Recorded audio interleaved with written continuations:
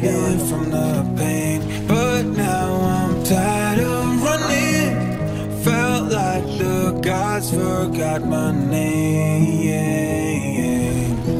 In my head, I didn't know what I was looking for.